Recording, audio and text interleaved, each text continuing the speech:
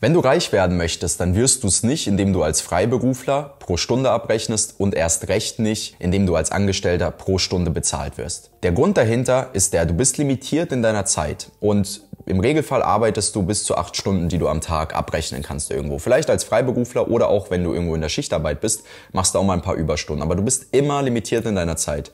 Ab dem Zeitpunkt, wo du es schaffst, dich von deiner Zeit zu lösen, also von der Bezahlung pro Zeit zu lösen, ab diesem Zeitpunkt hast du zum ersten Mal das Potenzial, tatsächlich reich zu werden. Denn Reichtum kannst du auf der einen Seite aufbauen, indem du das Geld, was du verdienst, investierst. In Immobilien, in Aktien, in Kryptowährungen, in Gold oder in irgendein Geschäft, in ein Startup oder sonst was. Weil dort nutzt du dein Geld als Hebel, um entsprechend unabhängig von der Zeit Renditen zu erwirtschaften.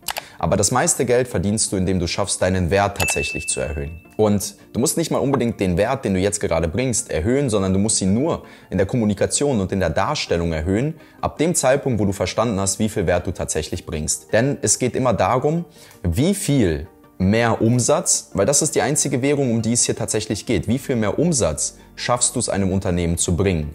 Anders gefragt, wie viel mehr Umsatz hältst du auch in einem Unternehmen, was sonst verloren gegangen wäre, abwandert durch zum Beispiel Kundensupport, Kundenmanagement etc., ähm, wenn du aktiv bist und arbeitest.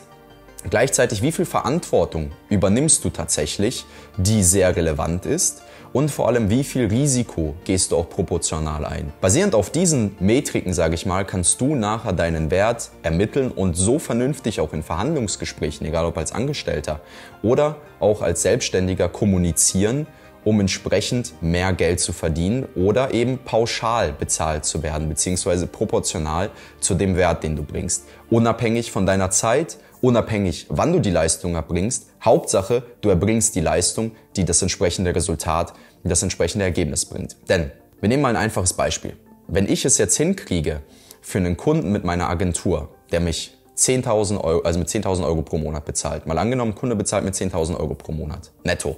Dafür, dass ich Agenturleistung für ihn bringe. Dem kann es völlig egal sein, was ich mache und wie ich das mache. Wenn ich jetzt mit seinem Werbebudget, was noch zusätzlich dazu kommt, sagen wir mal mit 20 weiteren 1.000 Euro, also insgesamt hat er 30.000 Euro investiert. 10.000 an mich, 20.000 in Werbung.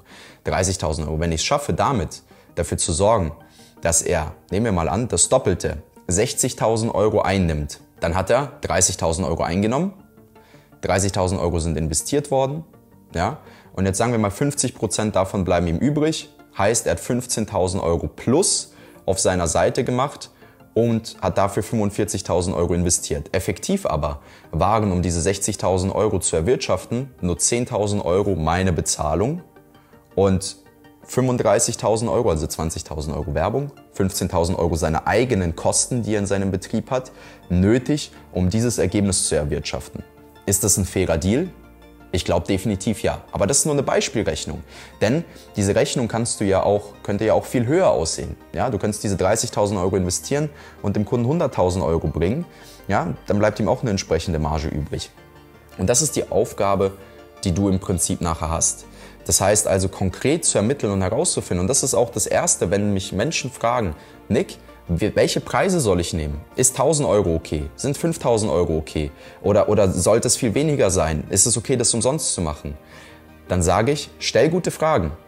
Lern das Geschäft kennen. Verstehe, welche Margen da sind, verstehe, welche Abläufe dort sind, verstehe, was jemandem wichtig ist, verstehe, was jemanden begeistert nachher an mehr Umsatz und beschäftige dich damit, wie viel Ressourcen musst du selber einsetzen und vor allem, was musst du tun und bewegen in Form von Werbebudget oder eben deiner eigenen Leistung oder anderen Dingen, um ein entsprechendes Ergebnis zu erwirtschaften.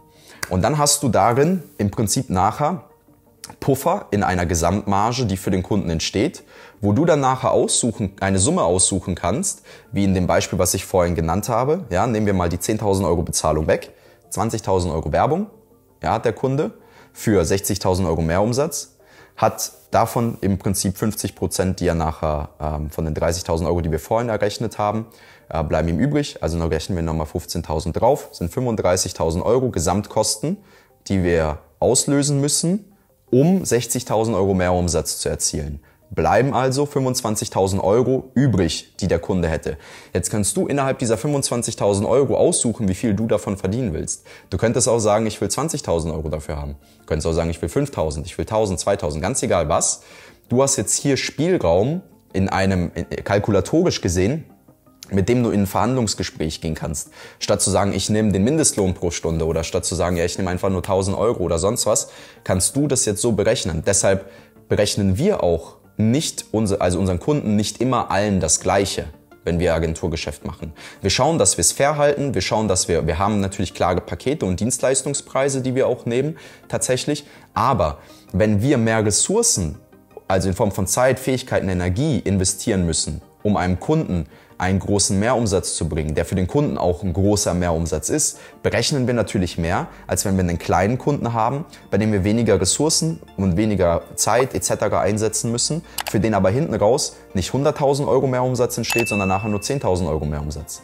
Ja, da wäre es ja natürlich äh, halt so ein Beinbruch in dem Sinne, wenn wir 10.000 Euro Pauschale nehmen würden. Ich weiß, hier sind viele Zahlen geflogen, vielleicht war es ein bisschen komplex, schau das Video vielleicht nochmal an. Im Endeffekt geht es darum, für dich ein Verständnis dafür zu entwickeln, welchen Wert du schaffst und welchen Wert du kreierst, was da an Mehrumsatz für den Kunden entsteht, beziehungsweise für deinen Arbeitgeber, für den Menschen, mit dem du arbeitest, der dich nachher bezahlt, um mit ihm einen entsprechenden Deal zu finden, einen partnerschaftlichen, der sowohl für dich gut ausfällt, als auch ihn begeistert, dass ihr beide Lust habt, hinten raus weiter zusammenzuarbeiten und sagen, weißt du was, das klingt fair. Und das ist das, was die Menschen auch zu meinen Angeboten sagen, sagen, wenn ich mit denen arbeite. Die sagen nicht, boah, Nick, das ist aber teuer. Die sagen auch nicht, boah, das ist extrem günstig, sondern die sagen, weißt du was? Das klingt fair, das macht Sinn. Und genau so schaffst du es auch nachher reich zu werden, indem du dich von der Zeit gegen Geldkette tatsächlich löst. Egal ob als Dienstleister, Selbstständiger oder hinten raus nachher auch als Angestellter.